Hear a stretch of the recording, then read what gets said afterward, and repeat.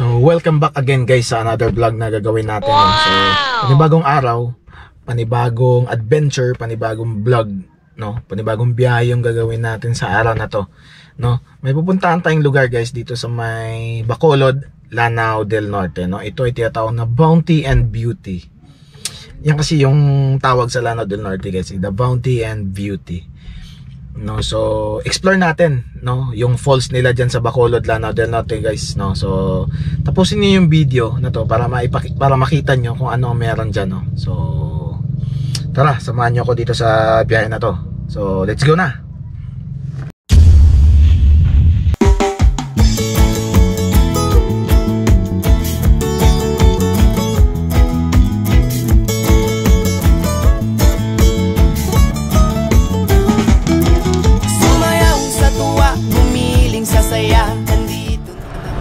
So before kayo makarating ng ah Bacolod, Lanao del Norte, no. Pwede nitong daanan guys dito sa Kauswagan din.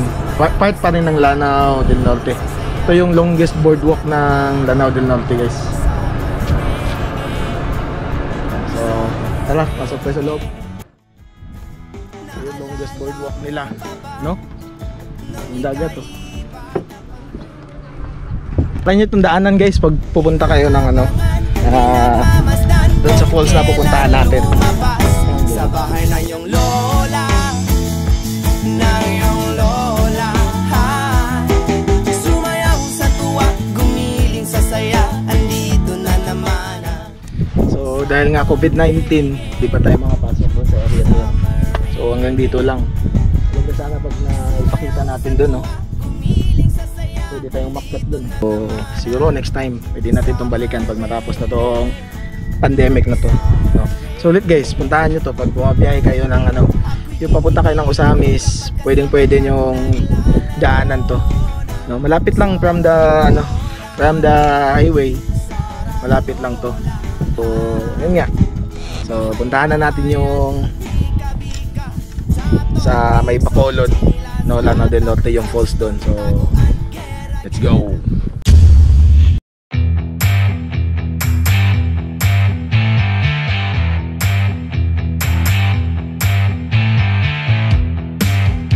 Two thousand years later. So, nandito na tayo sa Pagayawan Falls.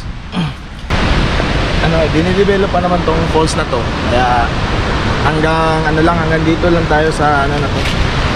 Eh, bangin na. Ayun. So, mga mahilig sa nature dyan. Dito, makakag-relax ka. Pero yung lugar na to, dinidevelop pa guys. Eh. Ayan. Meron pa tayong puntahan dalawa dito, pupuntahan natin. Pakita ko sa inyo mamaya, no? So, ito pala yung una. Galing doon sa pagpasok, ito yung pinakauna falls, no? So, yun. A few moments later. Medyo adventure yung madadaanan mo dito, guys. Dubli ingat na lang, no? Sa pupunta dito.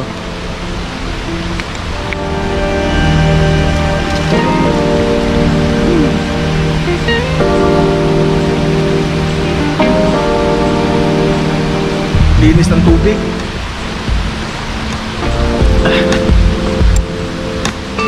So ano guys, may mga cottages na sila dito. No? Yun nga lang, dinedevelop pa nila. Ayan o. Sa mga cottages nila. Yun na yun pa.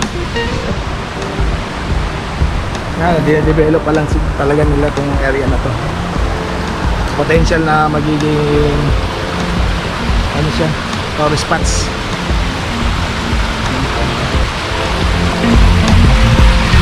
Oh, napaka-challenging yung daan dito guys. Ayan oh.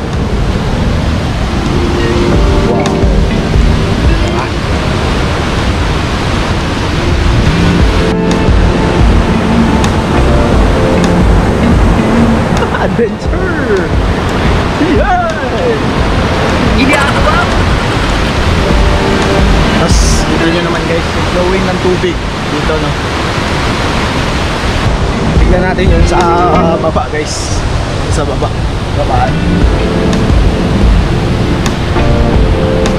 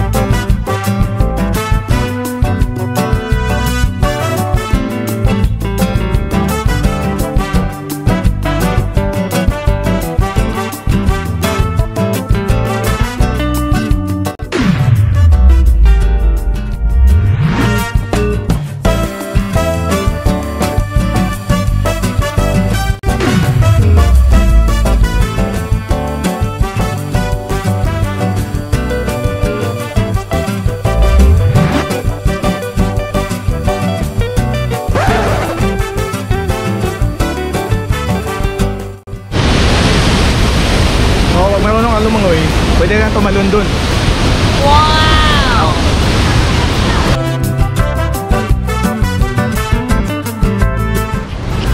Ah, so yun nga no, sasamahan ako nila ng dalawang kaibigan natin na nakilala dito. Doon sa may ano, doon sa may biak na bato. No, kasi mas maganda din daw doon. So, nandito naman na tayo, explore na lang natin, guys. No, so tara.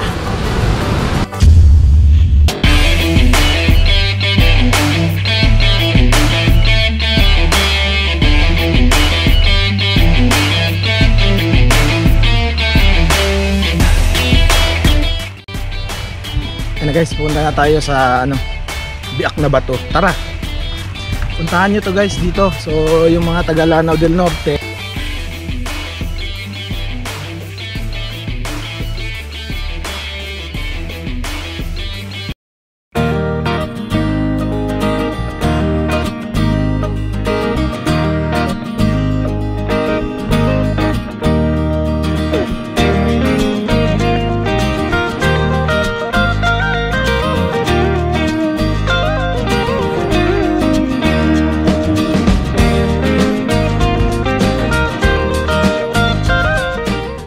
salamat Sige, kay na ano, kina Kim, bro. Oh, Kim Kim, oh, binagog Si- picture.